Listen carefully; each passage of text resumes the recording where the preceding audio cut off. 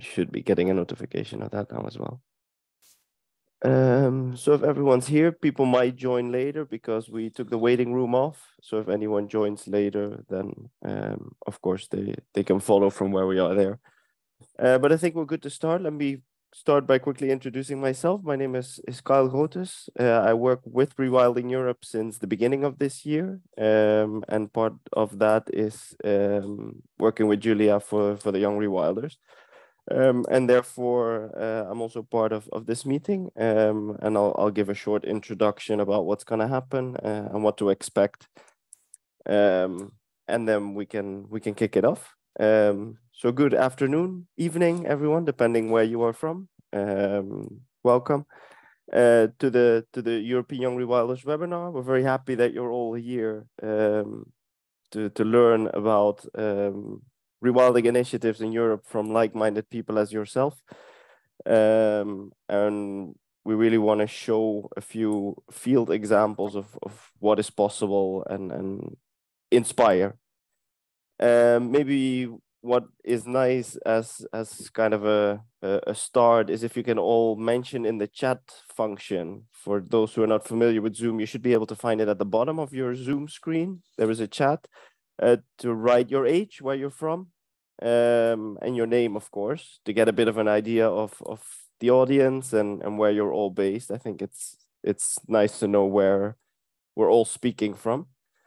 Um, like I said, I'm uh, Dutch, but I'm in the south of Spain. Um, so the, that's that's mine, but I'm curious to know about yours as well. So if you could write it there, I think that would be nice. Um, and then the meeting, I, I mean, all of us being here, uh, involved with rewilding. We know it's a powerful movement that wants to uh, restore and reconnect ecosystems, to bring back biodiversity, um, revitalize our natural world. Um, and because of that, today we have the privilege uh, of hearing from three exceptional speakers who embody the spirit that is part of the whole network that uh, Julia and yourselves have been building. Um, and they've made significant contributions to the cause, which is why um, they're going to present their projects here today.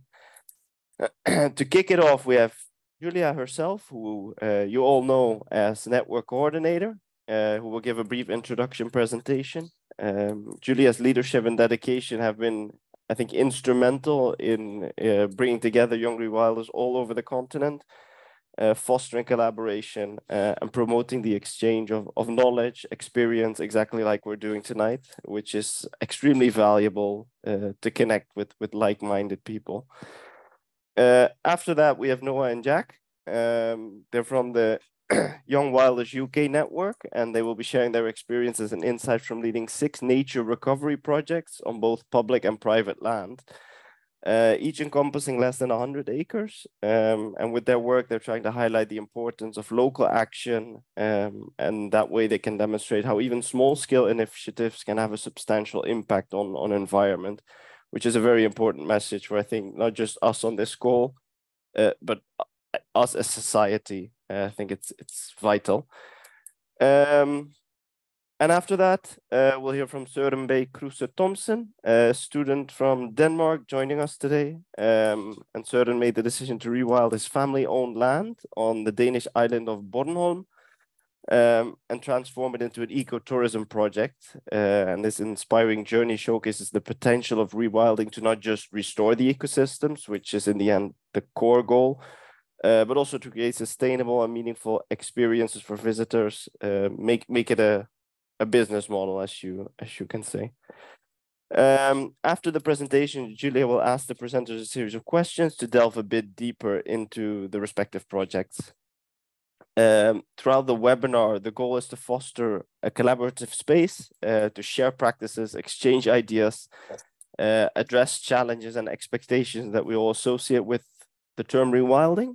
Um, and we believe that by bringing together uh, the young rewilders with all various backgrounds, which I'm sure you have. Uh, we hope to inspire each other, learn from each other, uh, and collectively work towards a, a more diverse, resilient future. Um, we had over 60 people sign up last time we checked. Um, usually they don't all join, but still a significant amount representing different countries, different perspectives, uh, which gives us this unique opportunity to create connections with people who are not your neighbors, but who share a common goal, uh, which is extremely, extremely nice.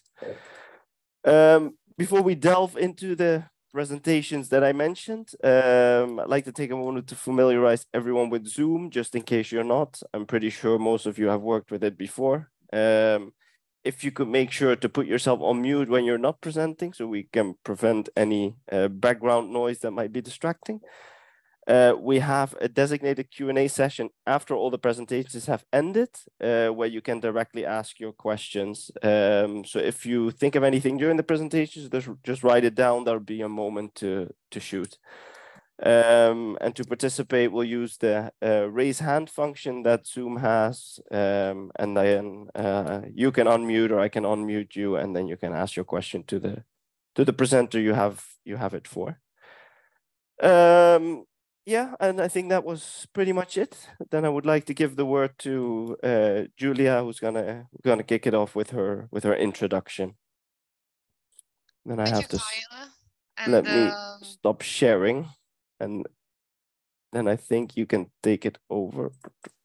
Yes. So hello, everyone. I'm very happy to see so many of you here. Um, I'm just gonna briefly kick it off uh, before uh, leaving the floor to our rewilding uh, experts here uh, with some brief considerations when it comes to young people, their role in rewilding, and uh, just mentioning, uh, um, spending some words about the European Young Rewilders Network itself. So, of course, I have a presentation, and uh, I will uh, right now share my screen and and share it. And if you have any questions, please write them down and I will be super happy to answer them at the um, at the end of the of the of the presentation. So uh, why young people? Like why are we enforcing and making and, and highlighting this link between young people and rewilding? Why are we here today? And what is behind the European Young Rewilders itself? So just by starting off with uh, something that you might think is obvious and not really nice to hear, um, is that our generation has is born into an, an, environmental crisis. We have a planet that has uh, some some issues, and we are facing uh, some challenges. So we are in a context where we have to act or uh, or adapt, and as young people, we will be asked to make decisions or even sacrifices because of what's going on, because of all these uh, deadlines that are so far in the future that are just uh, putting us, uh, putting the effort, uh, mm, the burden of effort on us uh, in the future. Um, but this can also be quite an empowering moment. And when we speak about rewilding, we see an opportunity as, as you might know, rewilding has entered the European scenario quite recently. So young people, we are really playing an important role in shaping uh, the movement and we are the future of the, of the movement just by staying here and discussing about it, as well as leading uh, our uh, our uh, our initiatives as the ones we're going to hear from today. In this context, uh, I think it's important to mention that young people are scholars, are professionals. We are people with skills. We are people with sensitivity to environmental issues. Um, we have graduated in courses and even working in roles maybe that didn't exist until 20 years ago. So this brings us uh, to a very important momentum to try to bring uh, a positive uh, change and rewilding is one of the way how we can do that. You might be familiar with the uh, shifting baseline syndrome. I always like to bring it up because I think it's extremely important when we're talking about young people as we are particularly victims of it.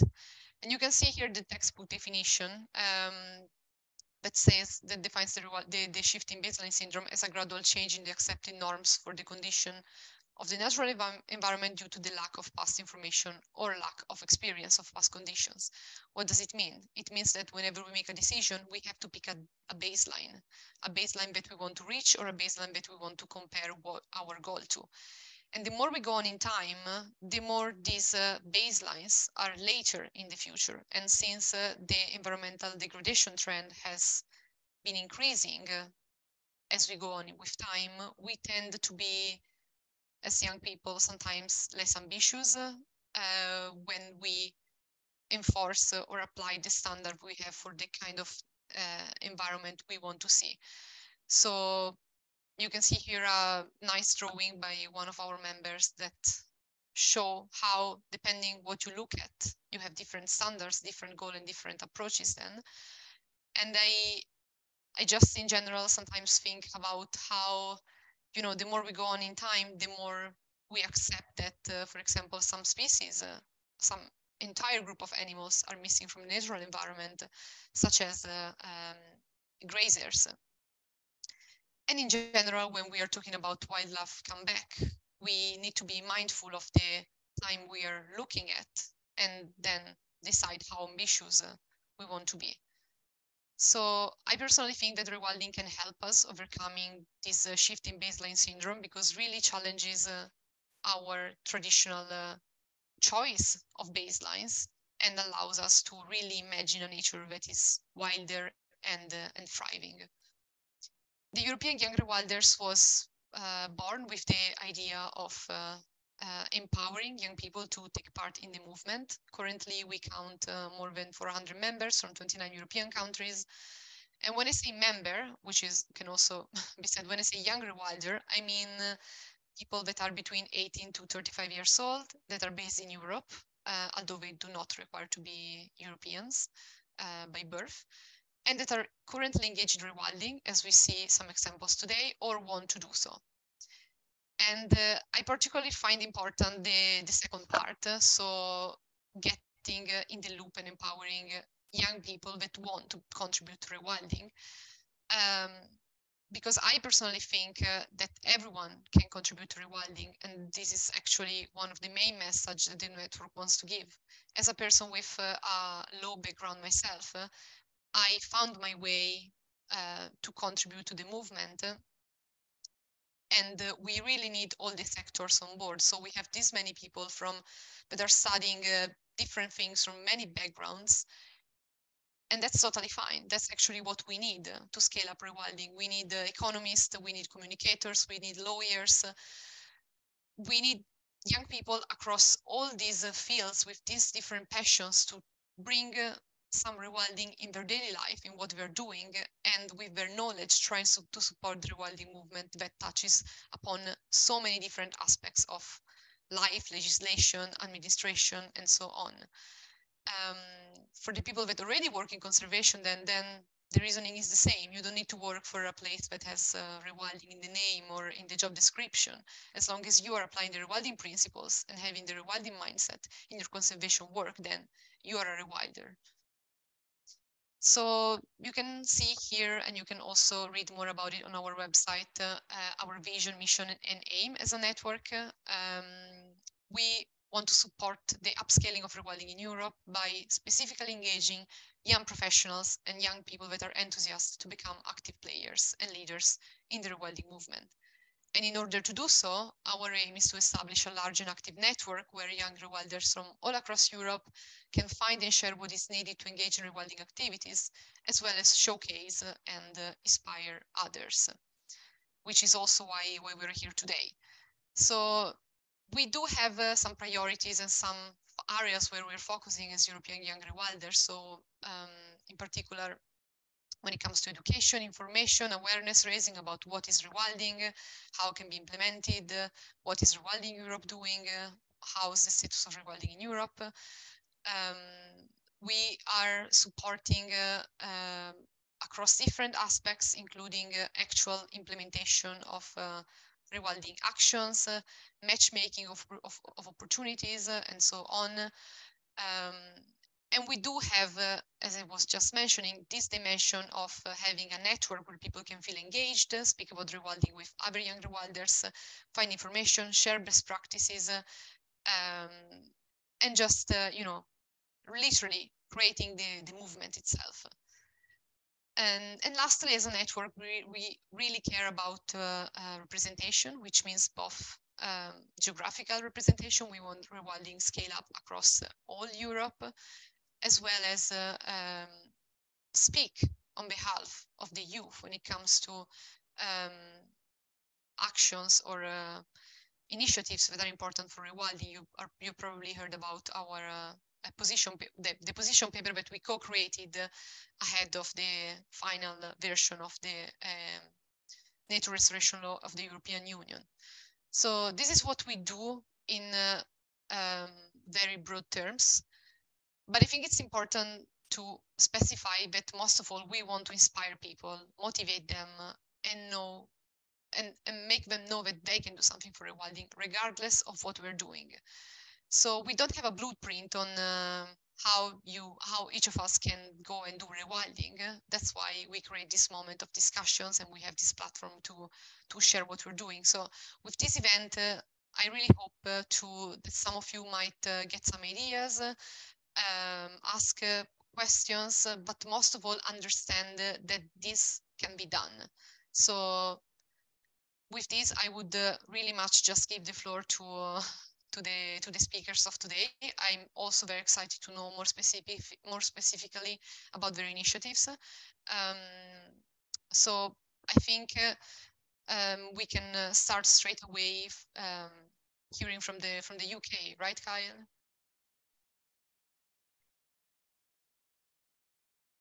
Yes, sorry, I was looking for my mute button. Indeed. Great. Um, so yeah, I'll start sharing my screen now. One moment. Okay, sweet. Can people see that? Yeah, works perfectly. Yeah, hell yeah. Um, thanks for the introduction. Um, basically, uh, for today, actually, give me one moment. I'm going to read. Yeah, perfect. Um, Noah and I uh, are going to be yapping to you guys, um, and the plan is to give you as full a picture of, as possible in this short time that we have of our journey as an organization, with the vision that that could provide a sort of roadmap to anyone who wants to do something similar, or maybe just provide bits and bobs of info that you can incorporate into your own work elsewhere. Um, a quick thing I'll say is that I am I'm Jack. Uh, I'm one of the co-founders of Young Wilders, and I lead on the kind of people side of the stuff we do, so the more like engagementy things. Um, I'll let Noah introduce himself when he starts talking. Um, but yeah, so the contents are we're going to do a sort of who, what, why, how type approach. Going to quickly touch on who we are as Young Wilders, both as an organization and as individuals. Um, and then uh, the kind of stuff we're getting up to. Noah will be talking about that, uh, why we're doing the kinds of things that we're doing. Um, so that's about maybe taking a reflective moment to think about the values that are informing it, maybe some tactical stuff, uh, organizational reasoning. So like why young people, which uh, Julia's already touched on, we'll add a little bit to that.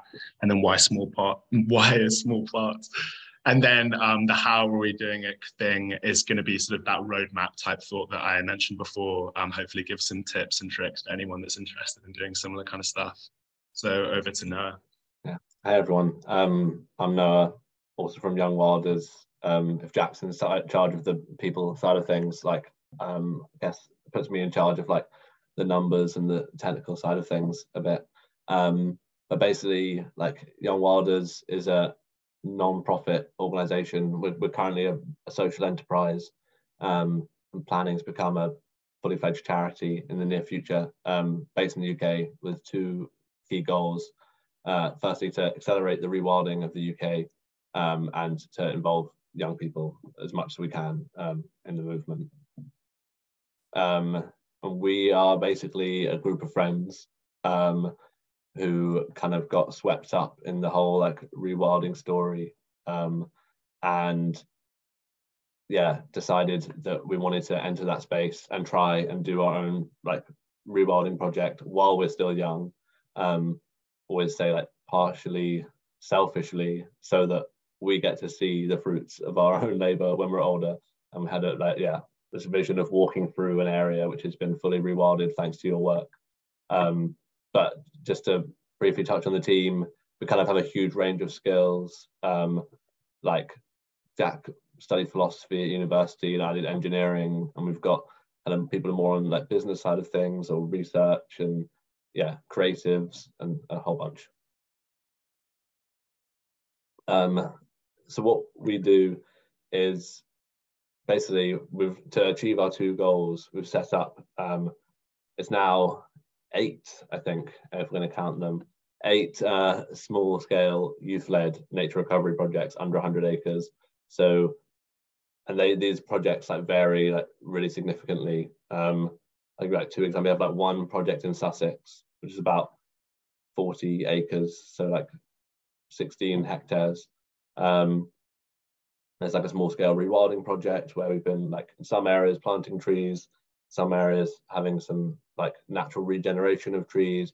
We're creating some wetland areas. We've been like moving the animals slowly off the site and yeah, kind of doing a bit of passive rewilding. And those are kind of our bigger scale projects. And then some of the smaller ones, like we've got an urban wildflower meadow we're working on in central London, which is like 200 square meters. So we're kind of doing a big range. Um, and the only other type of project we do is some projects that are just purely about youth engagement. Um, so we run an annual conference uh, at the Knepp estate for young people interested in rewilding. Sweet, thanks, Nat. So this is, I'll, I'll skirt over this pretty quick, but this was just to kind of sketch out a bit more of our story. Um, so we started chatting about this stuff in 2018. First project uh, was in 2020. Then next project wasn't until late 2021, I think. And then I started working on this full time just over a year ago. Then Noah joined about a year ago full time. Um, and the reason why I wanted to mention this stuff was to highlight how slow progress is. And this is kind of a thing in conservation more broadly, which you guys would have already butted heads with, I imagine. Um, and then add to that just the fact getting your own thing started always takes just an absolute age. And the first few years, really nothing was happening. So I guess the, the thing to take from this, uh, at least in my head, is that uh, if you do try anything like this, um, just like be ready for things to feel like low momentum. I'd say maybe 80 to 90% of everything that we've ever done has been in the last year. So momentum does build, which is great. Um, so yeah, the getting into the why stuff now. Um, basically, yes, we had those two aims that we've discussed. Uh. Yeah. Okay. So we had those two aims that we just discussed, and then we kind of dove into the rewilding sphere via pestering people, basically just emailing as many people as we could for chats, doing lots of visits of kind of famous projects in the UK, some of which you might have heard of, like Knepp, Wild Ken Hill, Alladale, things like that. Um, and basically tried to just gather as much intel about where our efforts could be most useful. Um, and basically, what we kind of found through our, I suppose, research, but using, using that term pretty loosely, was there were two kind of pockets of energy that we felt weren't being tapped into. So one was just meeting loads of young people who wanted to do this work for reasons that we'll touch on later, and obviously just very intuitive reasons, like it's just super fun, for example. And then also lots of small uh, holder, small small holders, uh, people that own not very much land, who really wanted to do this work, were re really keen on it. But um, the major rewilding organisations in the UK at the time, for example, Rewilding Britain, had policies of only focusing on larger plots. So they weren't getting any attention, they weren't getting resources, they weren't getting any help. And we felt like we could sort of turn this faucet in our head that could connect these two balls of energy and then facilitate a lot of rewilding that wasn't happening. Um, but yeah, I thought we could, for the next slides, dive into why we think this is an important faucet to turn. So why getting young people involved and smallholders involved is important. So I'm going to I'm going to go through this quickly because uh, Julia already touched on this uh, very well, and also it's also just pretty self-evident stuff too. But the first thing is kind of a practical slash tactical thing. Young people just want to do this stuff. There's a UK Gov statistic that we sling around from a survey back in 2021, which was 81% of young people in the UK. I think their definition is like 15 to 25 or something. Are eager to take action to help the environment, which is a massive statistic that any other generation. I, I, they don't have the stats on baby boomers, but I imagine it would be much lower than that. Um, so that's just something to keep in mind.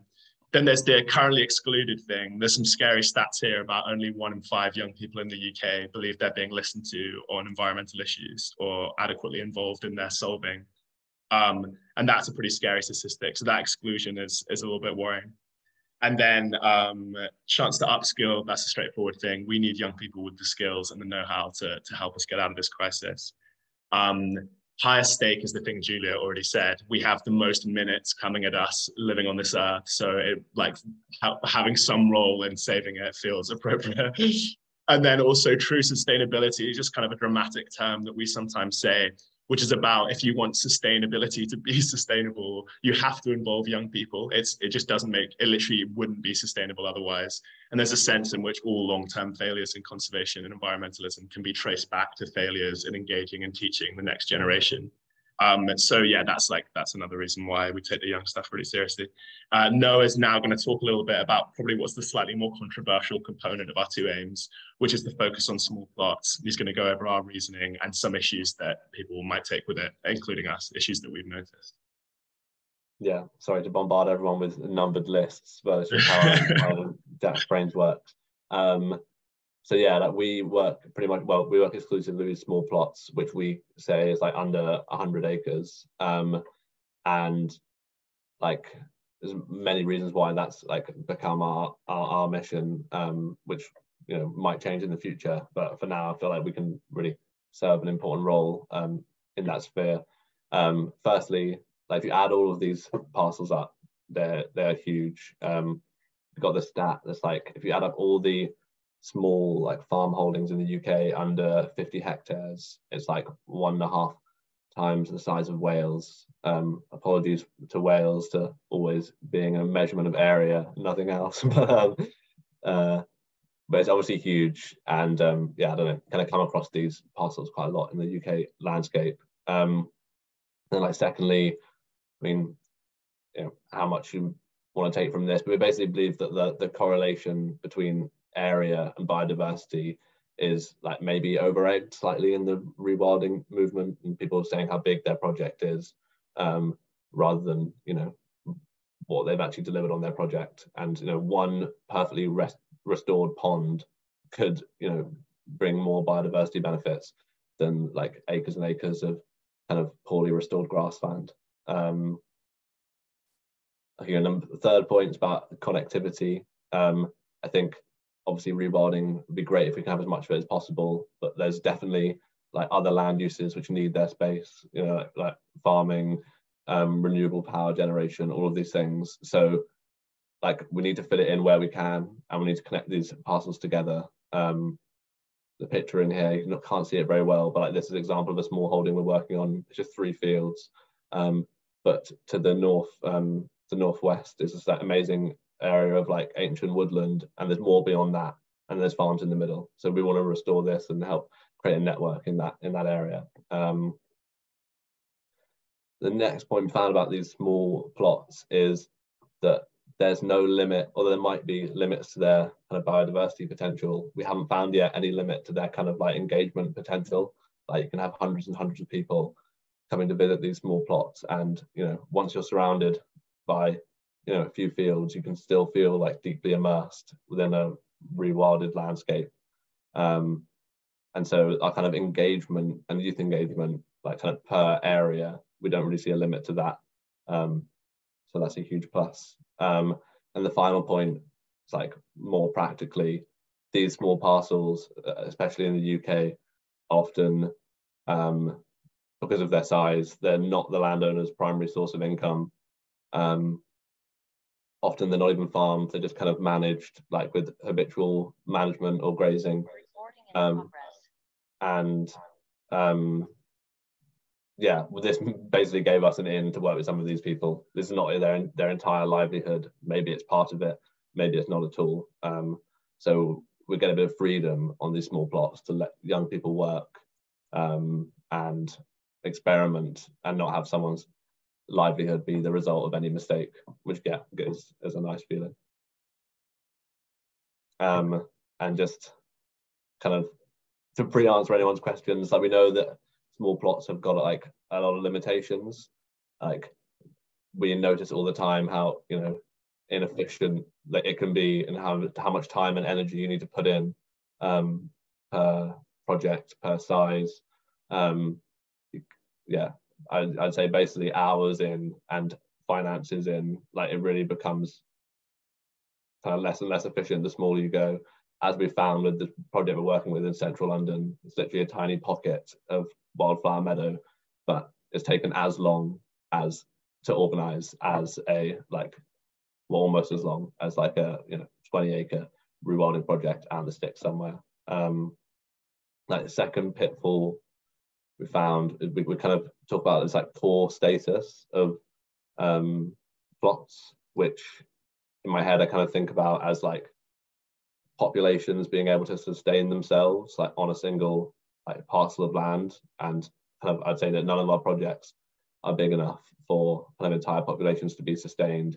Um, so if you do have sort of a particular type of insect or butterfly which comes and makes a home on your project, um, it will be quite vulnerable because if it's kind of isolated from other areas where it has suitable habitat and it's just trying to live on your small plot, if something happens, an extreme weather event or something, it could be it could be wiped out or no longer live in that area. And then, and secondly, um, you kind of don't have big enough space for like megafauna populations to have the appropriate grazing that they need. So we, if we ever use animals, they have to come in and then they have to go out, and you can't have a sustainable population.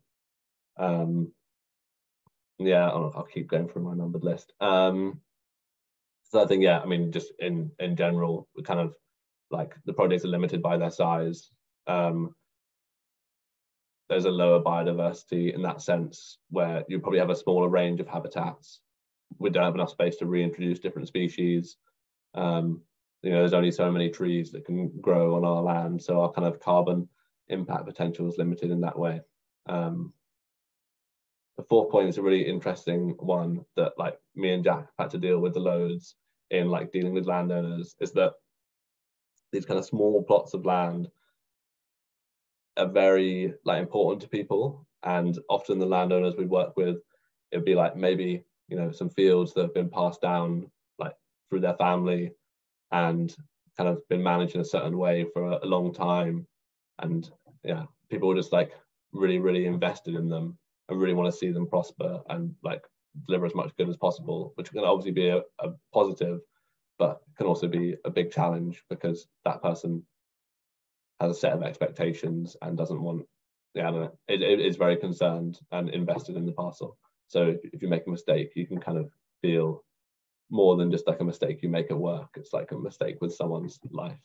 Um, and the fifth point is kind of maybe more of a legal point. We set up agreements with all our landowners in a kind of sh short term in terms of rewilding basis, like five year, three year agreements for us to come and do the management of um, of parcels and kind of longer term like covenants and protection strategies often don't apply to parcels this small or are so expensive for the lawyers to make them that it wouldn't really be beneficial. Um, so we're definitely aware of the risk that we're taking in the fact that some of these small parcels one day could be sold for a development and we wouldn't really have any any way to deal with that.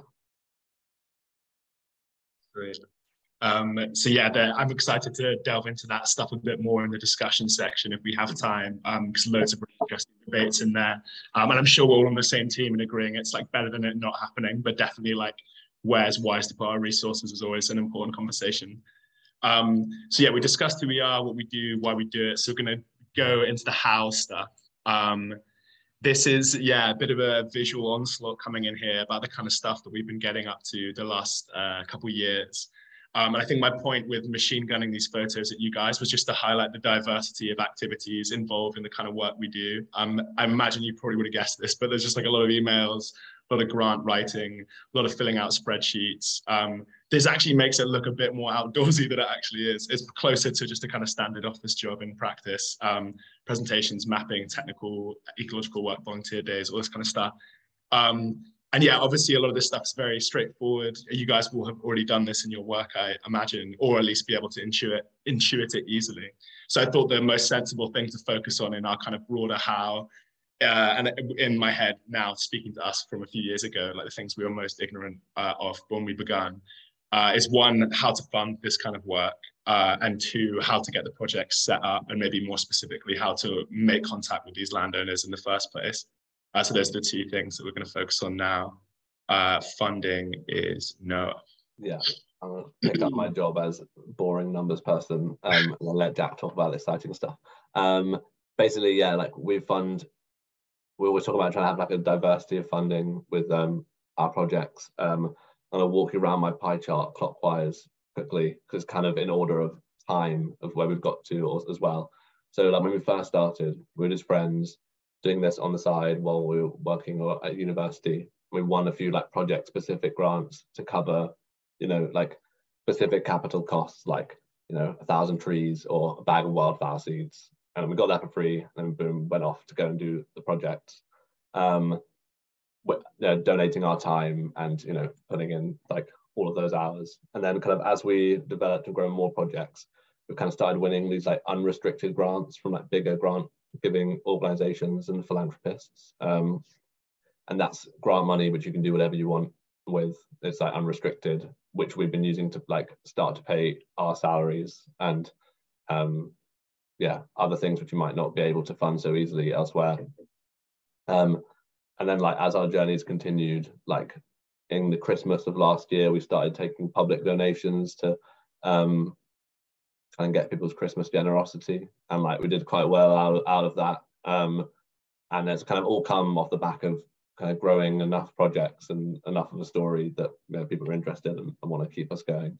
Um, and then our last piece of the pie, which is getting bigger and bigger, um, is like payments from landowners. Um, so when we first started, we offered this for free for landowners. We were like, if you let us rewild your land, like we'll do everything else. Like we'll, we'll you know, we'll do all the fundraising. You don't have to pay us. Just please let us do this. Um, but now we've done, um, we're not done. There's ongoing. Now I have a bit of experience in the sector. We've started charging the landowners um, like a little bit of, of money to contribute to the project, um, just because we've seen how much good can be delivered through these small scale projects, both in terms of the land improvement and like engagement stuff. Um, so yeah, this is the kind of connecting with landowners thing, like I mentioned, which um, we definitely found to be kind of like learning on the job the most. Um, so hopefully this will be useful for you guys. So yeah, there's obviously two ways this could happen you could approach them or they could approach you. And then for the you approaching them, which is how it would happen, uh, or how it has happened for us uh, most frequently, especially early on. This tends to be how it goes down. There's the step one, yeah, finding them. So personal links, this straightforward thought of just like, is there anyone that knows anyone? Have you heard of anyone that owns any land? Do you know anyone that's on a council that's mentioned they have some land they don't know what to do with? Uh, all that kind of stuff. Instagram and socials. There's a lot of these uh, projects in the UK, at least. I wonder if this is a thing on the continent as well. Uh, often have some kind of internet presence about them, whether stating some intention of doing rewilding or they already uh, kind of doing this kind of stuff with some public facing uh, component. So obviously finding them through those means is pretty wise too. And then finally, uh, pestering landy organizations. So this is just like big nature organizations in your country, councils, churches in England is a good one, property developers as well. People who are just like in contact with landowners or own land themselves. Um, and yeah, just get the conversation going because they might know of someone who has an intention to do something, or maybe there's a biodiversity net gain thing going on, that kind of stuff. And then more the merrier thought is just like message so many people, like literally like a hundred, and then maybe you'll get one reply, and then you're good to go. This is imagining that you want to do um, one little, obviously, but like the, we found that just like messaging a lot of people has has worked. Um, and then yeah, I'll, I'll blast through this other stuff. It's all pretty straightforward. I would say the most important thing in the contact, once you've made contact, establishing value alignment is massive. That's been like a really defining component of the work that we've done um, and what we mean by that is we have this youth engagement thing, we have this public facing thing. We want all of the land that we work on to be uh, open to the public, so public footpaths going through them, or an, or an owner who lets people on their land, that kind of thing. Um, and sometimes we've spoken to landowners who don't want either of those things or both, and then we don't work with them. It's really important to like establish at the outset. I guess it kind of goes without saying, but so you don't run into problems further down the line. So there was two instances where we had difficulties that were kind of relating to the value alignment stuff um, and then establish. But yeah, I mean, this is all pretty straightforward. You guys know how to do this. Sounds like most of you are ecologists. You'll know what the best kind of interventions would be, or at least have access to people that might know. The funding thing is just a chore. You've just got to hit up trusts. You've got to check local councils to see if they have budget for this. In the UK, there's lottery funding. Larger nature charities can help. Also, crowdfunding is an option, but that is very time consuming. So we probably wouldn't recommend that.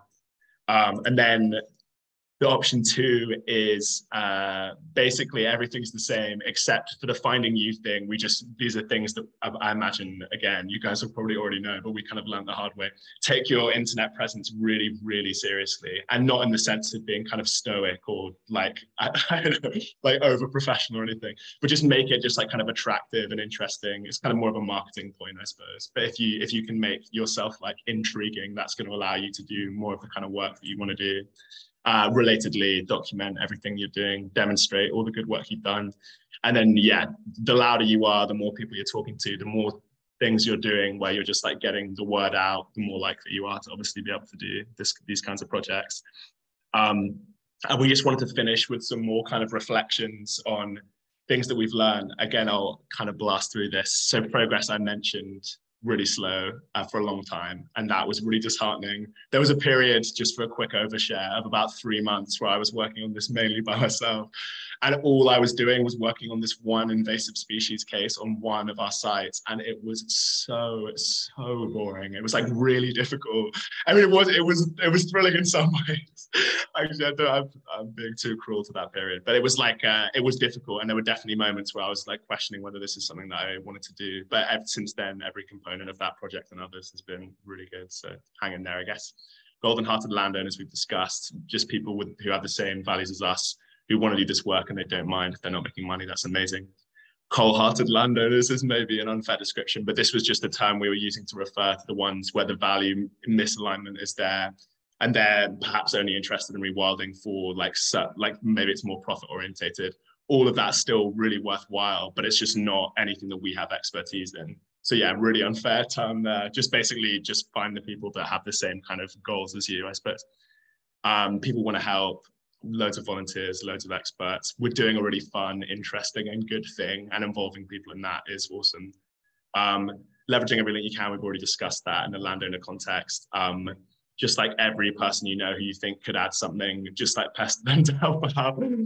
Uh, then Dr. Yeah, we'll discuss that. A final thing that we wanted to say was, um, at least in the UK, there's a really big kind of culture war component to rewilding, which is really interesting. And it it's kind of varies regionally as well. It's like especially big thing in Wales, for example.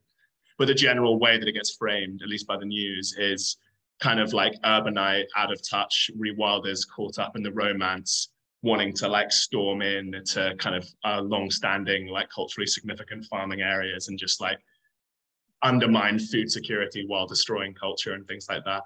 Um, but yeah, what we've noticed in practice is that obviously rewilders like want there to be food and want there to be food security and take food production really seriously. Um, and also farmers just take nature recovery very seriously. Uh, and as in tune with the seasons and with nature as like any demographic of person the only reason why, at least in the UK, they haven't been able to help nature in the way that a lot of them we've spoken to want to is just because the money isn't there. Like the government isn't subsidizing that kind of work. But now they are, which is awesome. So this kind of false, like adversarial dichotomy is kind of eroding anyway. But we just wanted to mention that we've found it to just not be a thing. And it's a bit of a shame that that's a narrative that some components of at least the UK media push. Um, and then, yeah, discussion stuff we'll get to. I think we went pretty long over our time allotment, so sorry about that. But yeah, excited to hear from Soren. Thank you so much, guys. Fantastic stuff.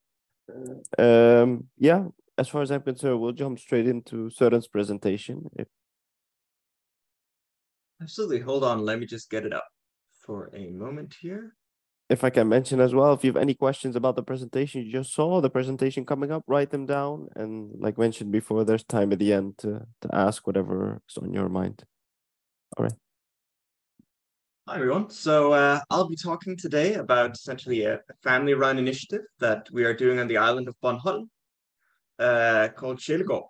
Uh, is a small estate of about uh, 26 hectares, or in acres, I think that's found 60, 70 acres or something like that.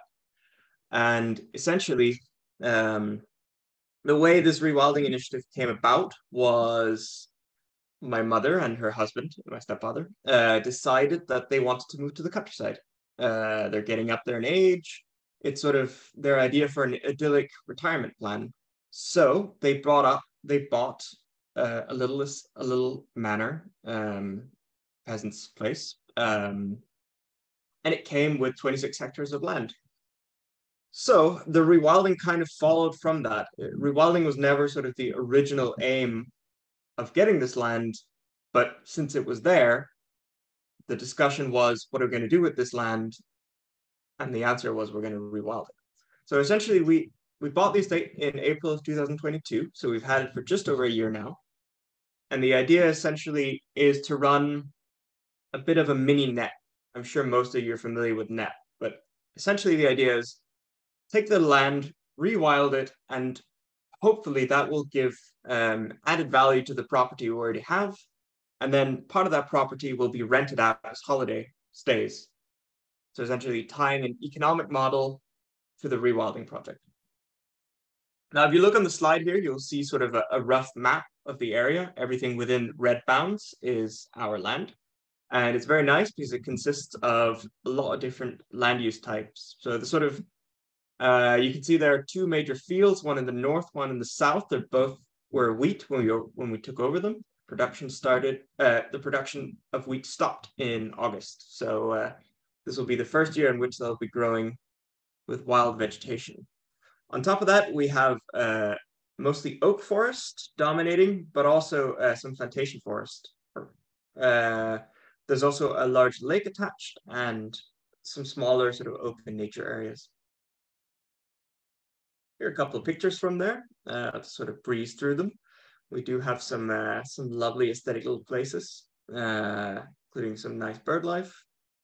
Yeah, we're located on the island of Bornholm, uh, which uh, I don't know if all of you know where that is, but that's it's an island situated between uh, Sweden and Germany, but uh, owned by Denmark. On the island, we're sort of near the north tip. This geography is quite significant uh, uh, because essentially this is a very touristed island. So if we talk about sort of the business model before of running something that's to do with holiday homes and tourism, well, we're kind of perfectly situated to run a model like that. So yeah, um, we also want to drive, do a little bit of uh, sustainable food production on the side. We have some livestock. We'll get into that in a second. But in terms of the actual rewilding, our plan is to take the forested areas and just maintain them essentially. They're light open oak forest already, gorgeous nature uh, pretty much just want to keep that. But for the more open areas, we want to create what is called a Vera landscape, which is essentially a sort of this very varied, beautiful landscape consisting of open areas, but also bushland and trees. And it's kind of um, very much in the spirit of, of, of Knepp Wildland in the UK. Uh, we renovated the main house. So we essentially got uh, three sort of um, sides to the house. Uh, and then the idea is one side's going to be holiday homes, one side will be uh, where my parents live, and third side is an old barn which we would like to uh, to repurpose into um, essentially like an event place where uh, companies could come and rent it, uh, do talks or meetings or events, whatever they feel for.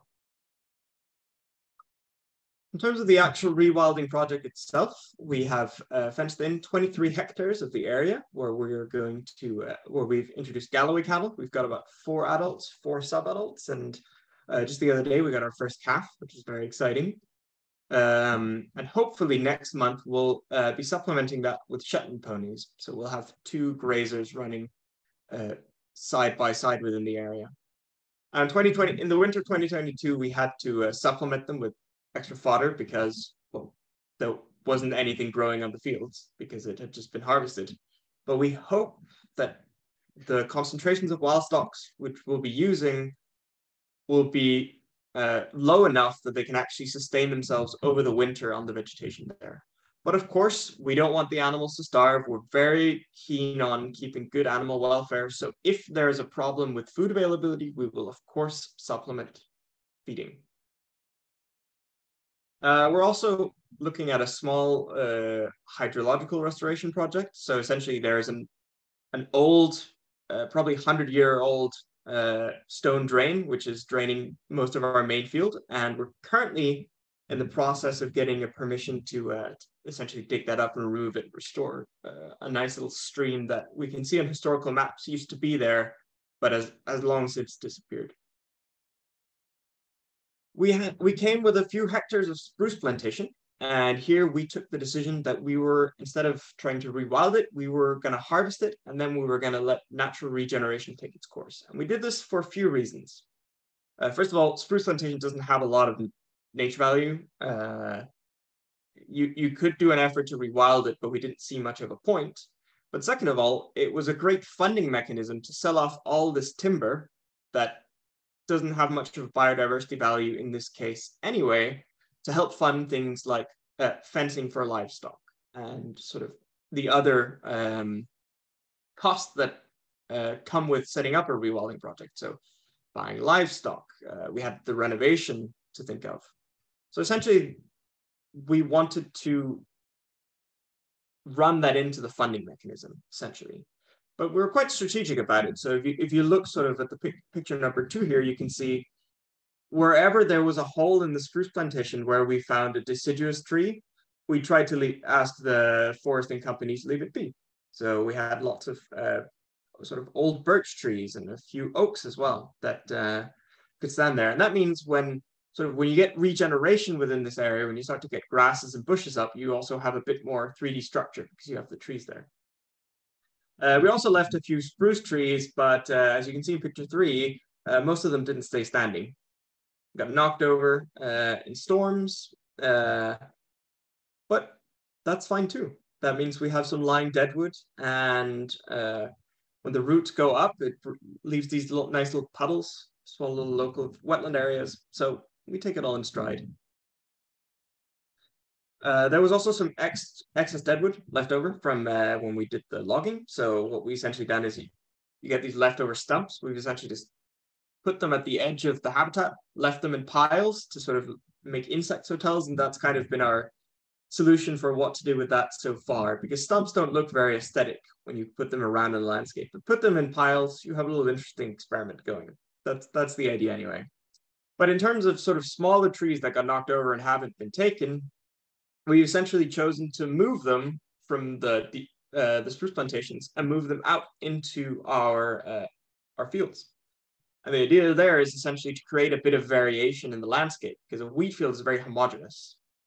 And next year, it's still going to be quite homogeneous because variation in vegetation takes many years to uh, sort of generate. So we thought, you know, take some uh, dead trees out there and maybe it'll create some shelter for uh, for uh, plant species where they won't become grazed, and that can sort of give way to bushland a bit faster. That's the idea anyway. And we also hope in the future to take some of the, the stones that have been moved away from the agricultural areas and bring them back into the landscape. Again, we, we want to create variation locally, both in, in water conditions, in, you know, in stones, in vegetation. And all of this, we're basically starting from scratch. One of the big problems on our site is bracken. Uh, bracken, for those you who aren't familiar, essentially it's it's actually it is a native plant to uh, to northern Europe, but it is so dominant in certain habitat types that it it leaves out such a it leaves out these interesting uh, open forest uh, undergrowths because it just it grows over everything and shades it out completely. Um, and livestock won't eat it because it's toxic. So what do you do in that situation? Well, nature's solution, or, or sort of rather the natural way this would have uh, been consumed is wild boar. Uh, now, we don't have any wild boar in Bornholm. We basically don't have wild boar in Denmark at all. So the alternative would be to use pigs. That's kind of an ambition for us in the long term. Uh, we don't have any at the moment. It requires very expensive fencing, and there are a lot of legal complications. So in the meantime, the we sort of touched on two possible solutions.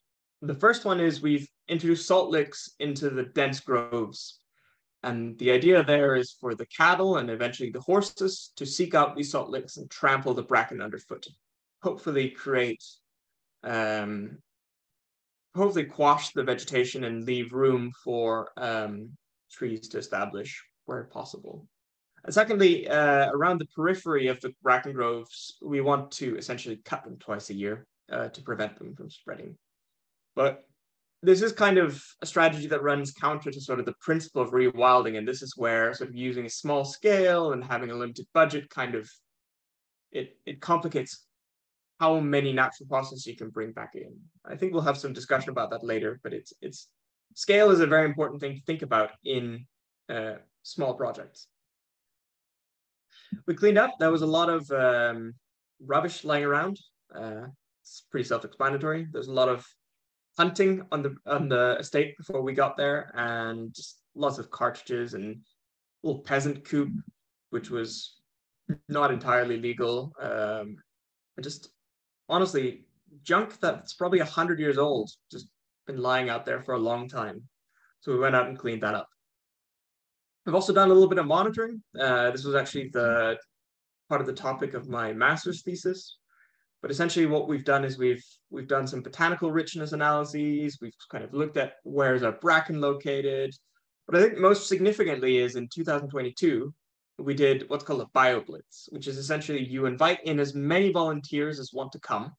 You give them 24 hours and they get to log as many species in the area as they can. And we have some, in Denmark, we have some software where you can essentially uh, record any species you find, send a picture in and it registers it. So we can see that from doing our BioBlitz in 2022, uh, we managed to record, I think it was about 800 species of everything from uh, mostly plants and insects, but you know, lichens, um, fungi, birds, you name it. Uh, and we hope to then look at that again and try again, do that again in 2025. So we can sort of see over a three-year time span, how has our community changed? You know, is it the same fungi species we're seeing?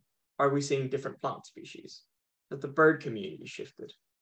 Uh, we're not so much thinking in terms of sheer number because it's it really depends.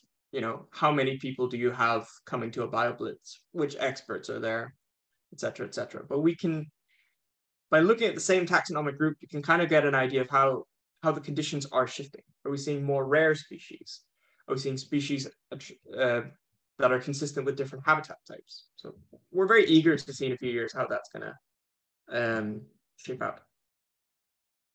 So that's pretty much it for the project. Um, if you want to follow us, we do have a, a, a page both on Facebook and Instagram called uh, Countryside Lodge.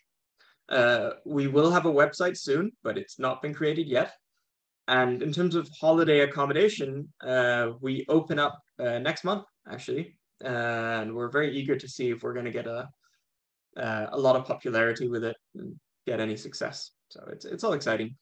Uh, if you have any questions about um, the company or bookings, you can reach out to my mother at the email below, or if it's anything related to rewilding, you can just shoot me an email at, at that address. Um, or if you're part of the European Young Rewilders, you can also just message me on Telegram. That's fine too. And yeah, that's pretty much it. Uh, I guess we'll save the questions for when it becomes relevant. Thank you so much, Jordan. Another fantastic initiative, great presentation. Thank you. Um, I think, Julia, this is uh, the time for your questions to delve a bit deeper into, into some of the details. Yes, well, thank you to all the speakers. And despite I speak a lot with Soren, uh, Jack, and Noah, every time I listen to their initiatives, I hear something new. And especially after Soren presentation, I'm more than excited to go and visit in uh, in July. Actually, I'm doing that because as soon as I heard about that, I was like, okay, I'm gonna go. I'm I'm based in southern Sweden. I didn't mention that, so very close to to Bornholm. Um, anyway, um, so the reason why we're here today, and here I'm referring to the broader audience. Uh, and the reason why the European Young Rewilders was created in the first time is because uh, we are getting, as young people, more and more enthusiastic about rewilding. Uh, we hear about rewilding, that hit a button, and uh, we want to do something. So my question to the speakers, and Noah and Jack, you can decide uh, which one of you picks the um, the question, or if you can, if you want, you can answer both. Is what motivated you to start this initiative? What was like the, the process from the first time you heard about rewilding to go to your fellow young people or to your parents in case of Soren and say, you know what, I'm gonna rewild it. How how did that work out for you?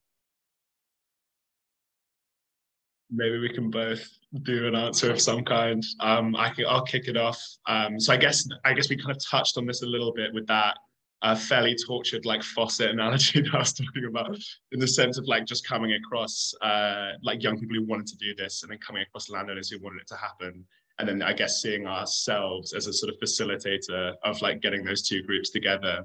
I would say taking it back a step though uh, why we were drawn to rewilding in the first place, um, as opposed to like any other environmental movement.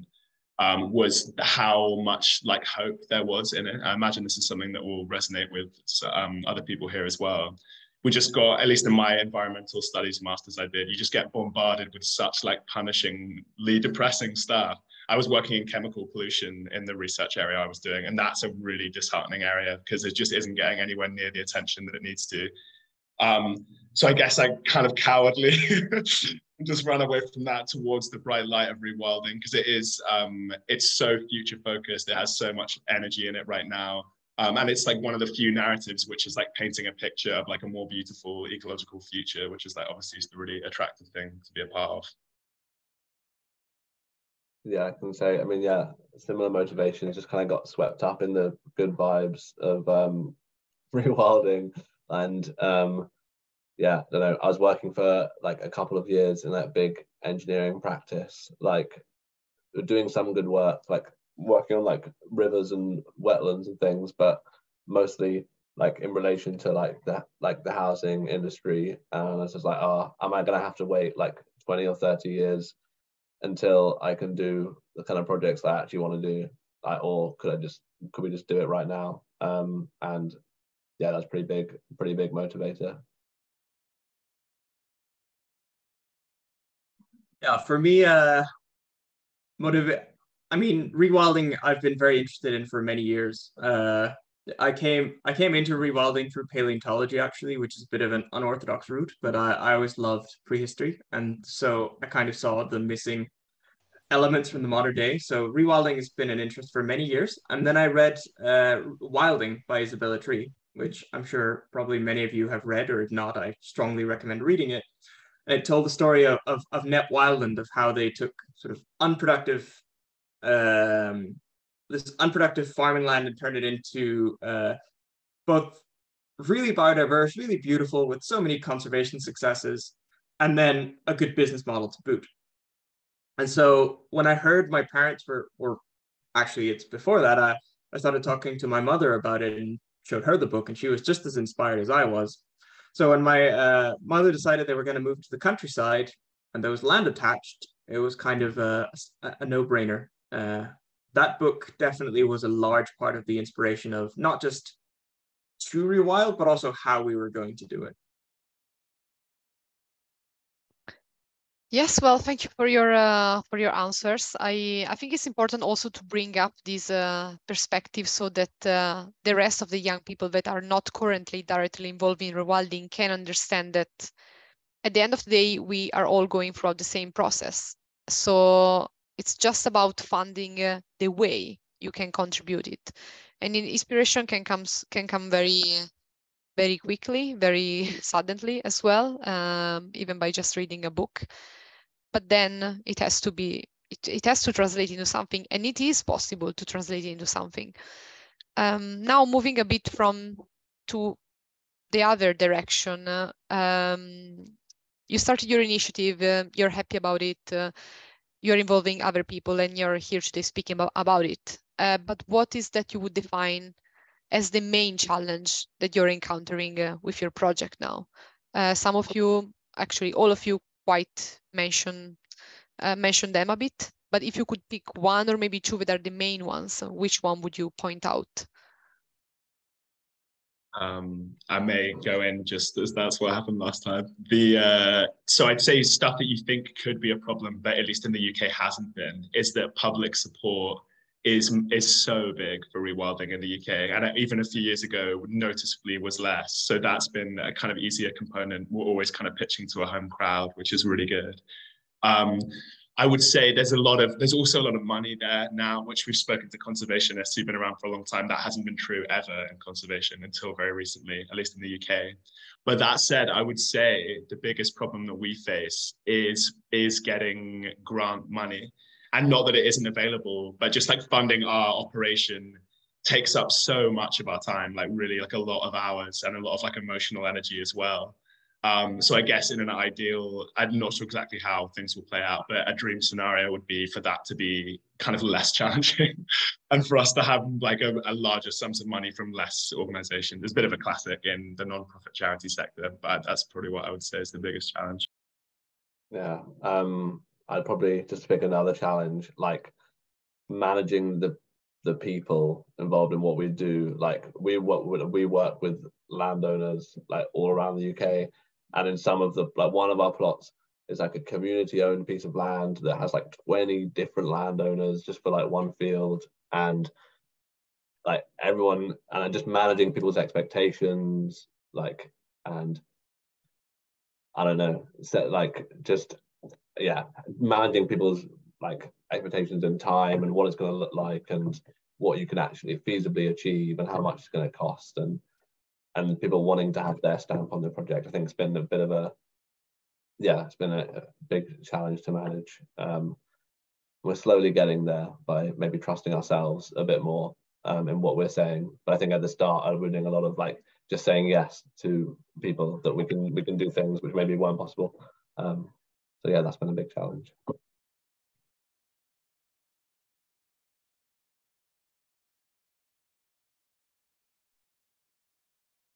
Yeah, and uh, for us, I think the the biggest challenge we've run into so far, it's still early days, so we've only been at this for about a year, and the actual renting starts next year. The rewilding efforts, in truth, only really started in the autumn, so we're still learning a lot as we go along. But so far, the most uh, the most headache-inducing part of the project has been uh, legislation, like ar- archaic laws that are just really, really difficult to deal with.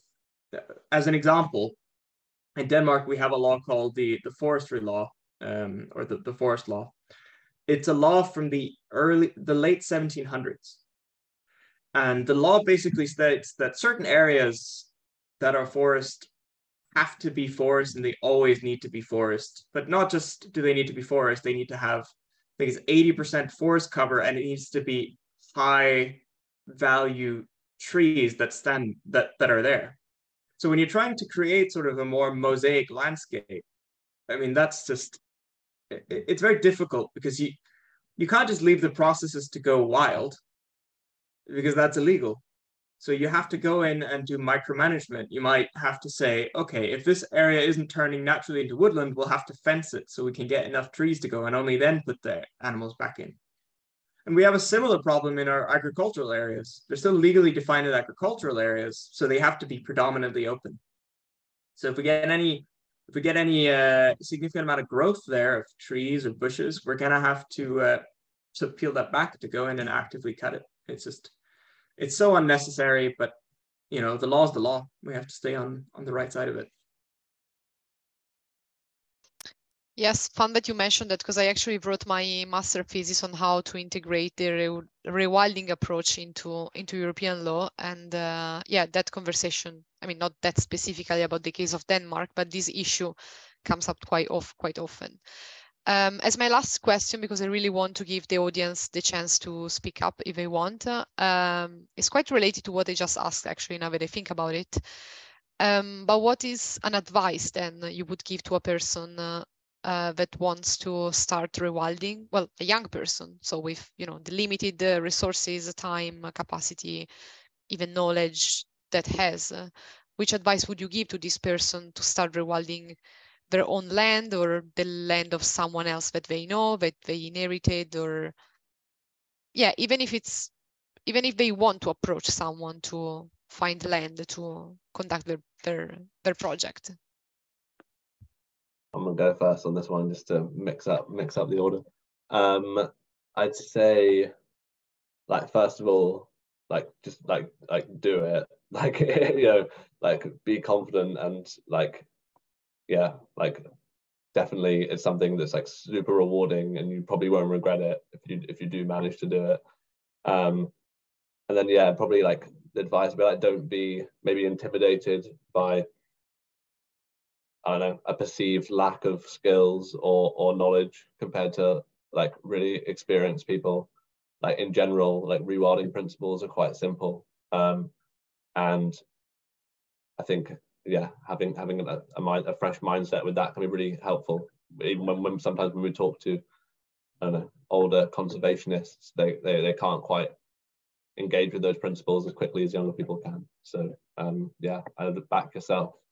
Um, with your own kind of understanding if I may just jump in real quick, because also if you want to self-educate you, a new book just dropped that's basically going through all the principles of rewilding. So if you are looking to rewild your own land and need some practical advice, there's a new book out called the Book of Wilding, which is basically just it's just a tool set of how do you rewild land at any scale.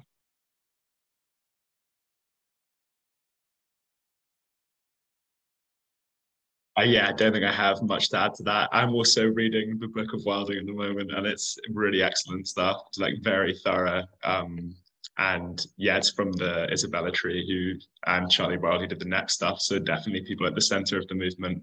Um, the I guess one thing I'm that Noah and I have spoken about previously is just like maintaining and embracing the beginner's mindset, which is just like always be willing to ask questions all the time and don't worry about looking foolish or whatever. Um, we had environmental backgrounds like Noah discussed, but they weren't specifically ecological ones.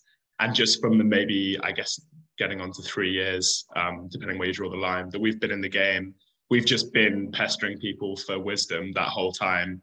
Um, and I still, we still do, and we'll continue to do that. But now I feel like we do have a degree of expertise, and that just wouldn't have happened if we were like more proud or something like that. I would say also, uh, sort of my my main piece of advice would be uh, tailor your project to your opportunities and needs. So it's everything from how much area do you have? If you have a lot of area, it might make sense to make some grazers do the work for you. If you're looking at a few acres, then it's probably easier to go out there and maybe hay the field yourself. You know, um, do you are you next to other nature areas if you're not then maybe you should think about do you want to essentially plant or seed the area yourself or do you have a nature area that's going to do it for you? What kind of soil do you have? Do you have very rich soil? Do you have very poor soil?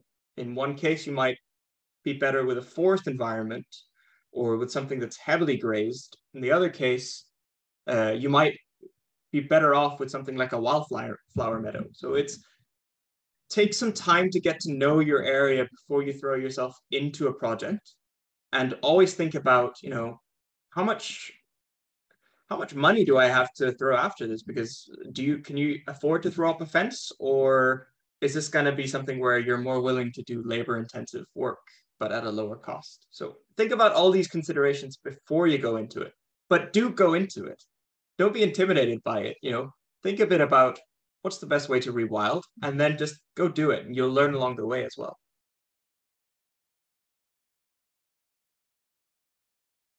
Thank you, guys. I think Julia, th those were your questions, no?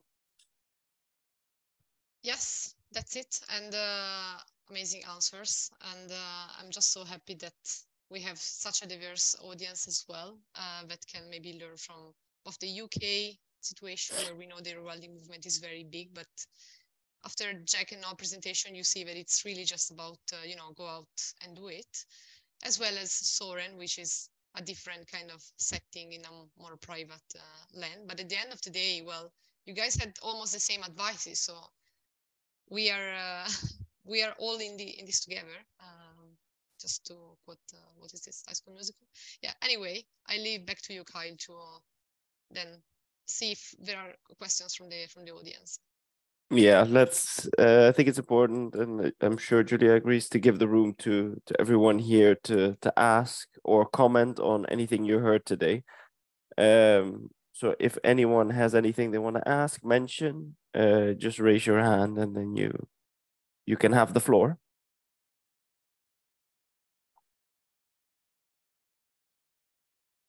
Okay, I have a raised hand. I just can't. Uh, here. Felix, I'll unmute you and then you can uh, ask whatever you want. The floor is yours. All right. I hope you can hear me. Yes, we can. Perfect. Uh, so you mentioned that in the UK, rewilding is really picking up and it's becoming really, really popular. And it's also something I noticed, and I really do you have any idea why that is? Because it seems strange to me, uh, not to shame the UK, that in the UK of all places, it's becoming such a big movement uh, movement because, uh, for example, Germany is also pretty in a bad state nature-wise, but I think UK is probably even even worse because of the island situation and all that.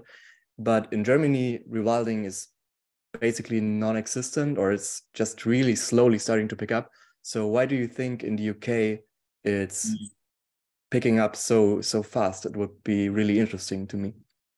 Yeah, such a good question. It's definitely something that we've spoken about a lot because it feels like it's kind of come out of nowhere, even in the time we've been environmentalism. But we, we went from hearing the term to it being like a kind of mainstay on major media outlets within only a few years, basically.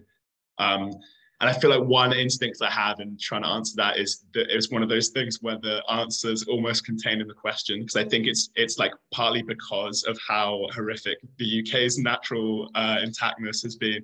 I think this a stat people sling around is that the UK is in the bottom 10% on Earth in terms of its biological intactness index, which is like a thing the Natural History Museum did a few years ago. Um, and then there's no rivers. I I don't maybe no Noah can save the day on this stat, but there's something about how none of the rivers in the UK are like over a certain environmental agency health standard. So just like apocalyptic scenes basically. And I see rewilding at least in part being a response to this being pushed so far down this intensive agriculture path. Um, one other thing I would say is that when we speak to other people in the UK who really care about this, they often cite these core texts over and over again um, so George Monbiot, Feral comes up all the time, and just George Monbiot more broadly, because he's just all, always writing articles about it. And then obviously Knepp and Isabella Tree and the book Wilding and this new book that's just come out. Um, and there's also a lot of other really vociferous people in the scene who are just like really good writers and have played like a noticeable role in shifting the conversation. So I'd say it's partly a reaction to the carnage and then partly a few like really like impressive individuals who I think move the conversation that would be my instinct anyway.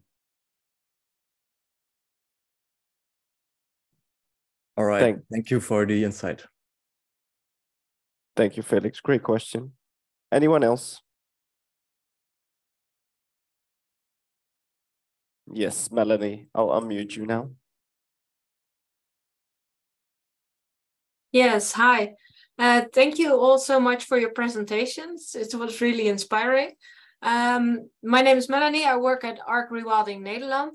Um, I also see that there's a lot of momentum for rewilding uh, with young people. Um, and I'm actually uh, curious, uh, Jack and Noah, you started as a group of friends uh, and you started uh, to rewild um, in the UK. But do you now also work with volunteers and how do you coordinate your volunteers and how do you keep them involved? Yeah, this is a great question. We kind of, um, yeah, so we, we, we started as, as just being a group of friends and kind of learning. And right now what we're trying to do is kind of recreate that process for like other young people. So yeah, we work with like loads of amazing volunteers from the UK. Um, in terms of for the European Young Rewilders, we've got a great Telegram helped mm. set up by Julia, which is you know which is awesome.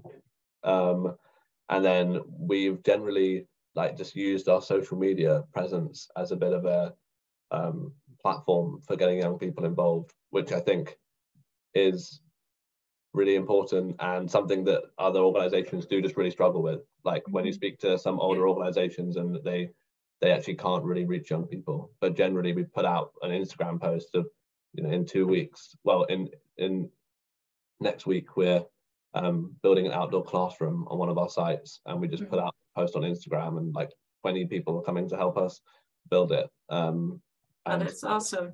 yeah, which is pretty awesome. Um, and then we're slowly kind of getting better at having a more formal system where some each of our projects are having like local um, kind of champions, I guess, associated with each one, where maybe they get a bit more responsibility and they're going to have a job title. And yeah, we want to hopefully try and give some people some money where like, we can and you know, change the way that uh, this is done. But um, it's yeah, we're still learning a lot, I think, about how to how to deal with like that we do get so many people approaching us who want to be involved and like, mm-hmm. finding the right job for the right person at the yeah. right project is, is quite hard. Yeah. All right, thank you. thank you, Melanie. Anyone else?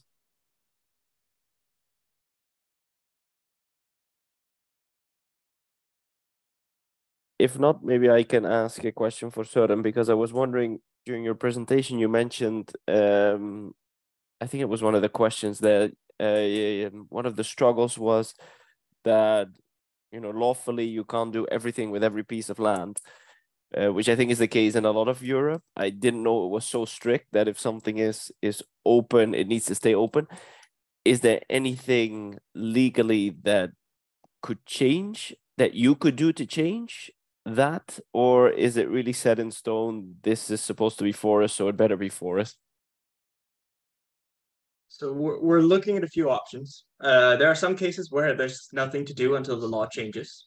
Uh, there's certainly discussion to change the law uh, that's in progress. So hopefully, uh, this is just a question of time, and we'll be able to move away from this. But there are there are a few options available to us. So, for example, you can move over if your site ends up being quite biodiverse or or, or quite interesting. You can end up getting it protected under Danish law. Now that imposes a whole other slew of problems on us because the the nature protection law is also a bit not great for rewilding projects. But it what it can do is it can say, all right, we have an open area.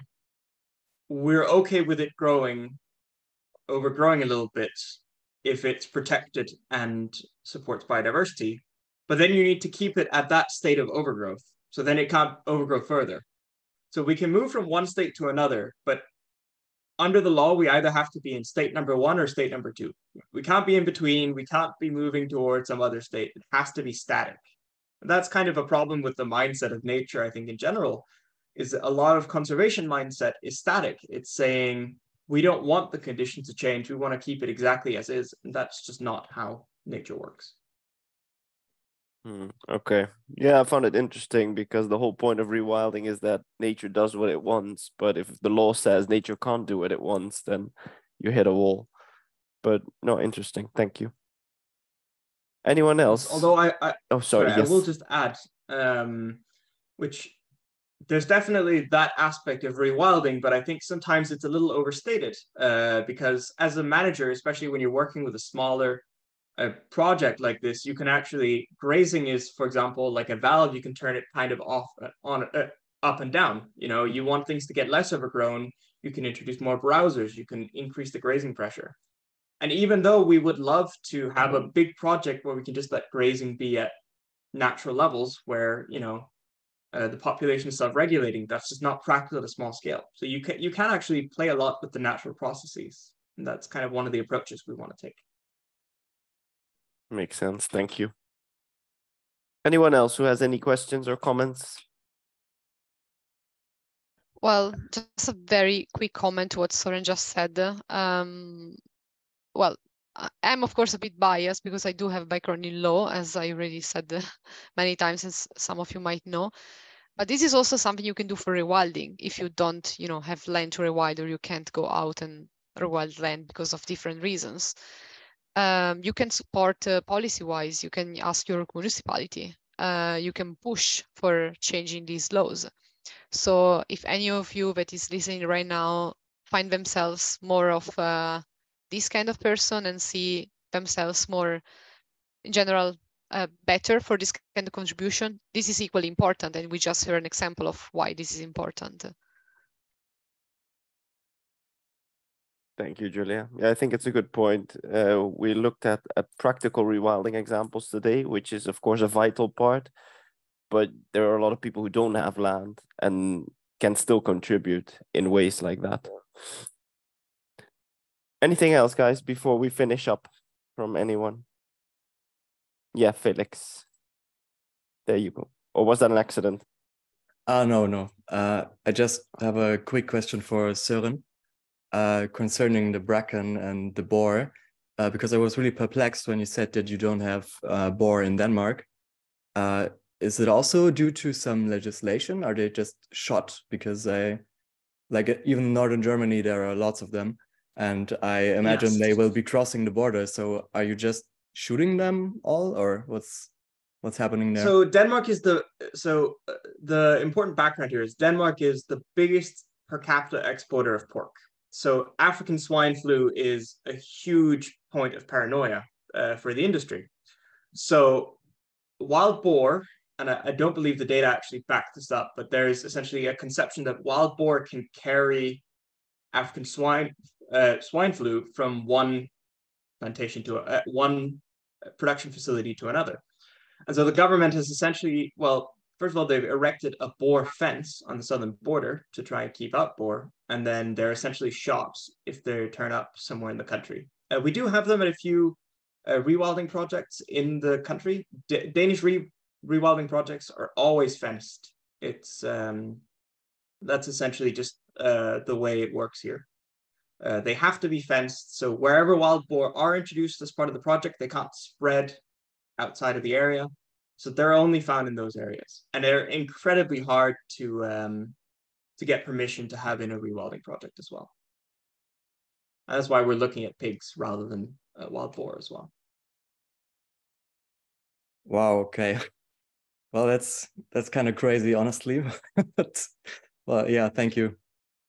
Are there also any pig farms on Bornholm? So would there be any chance that, um, yeah, pigs on pig farms could be infected with African swine flu?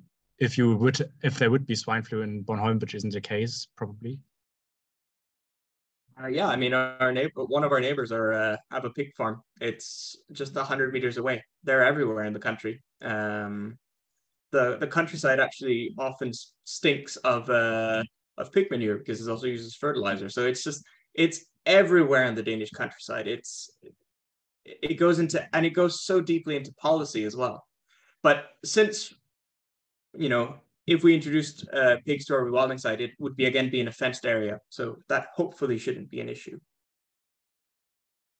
The problem with pig fencing is it's ridiculously expensive. So it's something like five or 10 times more expensive than standard cattle fencing. So, you know, if you're if you're looking to do rewilding in a fenced area with pigs, you're looking at a much, much higher cost. And that is unfortunately a deterrent for many projects, uh, which is a shame because wild boar pigs are incredibly important ecologically. They're essentially the species, a species that plows up the earth and helps essentially establish uh, new plant species in, a, in an area. Thank you. Anyone else who has any questions?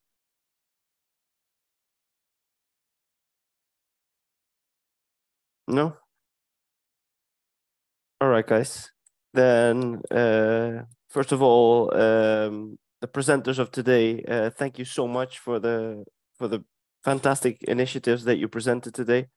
I think it's truly inspiring um, not just for for me uh, personally, but to everyone here. Um, really, really great stuff, um, and two fantastic showcases of how you can contribute um, in the positions that I think most of us in this in this call are in. Uh, you don't need to have a massive national park or or or governments behind you uh, to already make an impact, and I think that's one of the main takeaways of, of both presentations. You can contribute in this case in with with actual rewilding on the ground with with landscapes involved um and and there are so many other ways to to contribute and this is one of them but no matter what you do as, as small as it is everything contributes to the cause that we all stand for and i think that that's vital and the more people we get on board the stronger we get and and the better we we can move forward um with with rewilding and and hopefully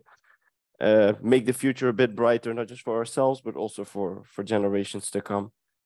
Uh, so thank you so much, guys, for for the for the presentations. Um, and um, I think then we can call it a day. I don't know if Julia has any uh, final words uh, for us today. Um, I just wanted to conclude by saying that if you're not yet a member of the European Young Rewilders and you are below 35, you're very welcome to, to join. I posted the link in the chat and I will uh, do it again. Um, if you are based in the UK, uh, then that's even better because you can actually go and help out uh, Noah and Jack. Um, you can do it by contacting them directly uh, with at their initiative website, or you can become member of the European Young Rewilders, and then you will be redirected to the uh, Telegram channel where they um, organize uh, for the for the projects. So yes, that's that's it from uh, from my side, and I also want to thank all of you, uh, both speakers and audience, uh, to be here. I really hope that was a chance to get some inspiration, and or at least uh, some uh, some motivation. Um, so yeah, that is uh, that is it. I don't know if anyone else wants to add some last words or. I just want to say thanks for organizing all this and thanks everyone for for listening to us. Yeah, Thanks, guys. Thanks for having us, guys. It was great. Everyone, thanks so much. Thank you. Thank you, guys. Have a great evening. Ciao. Bye.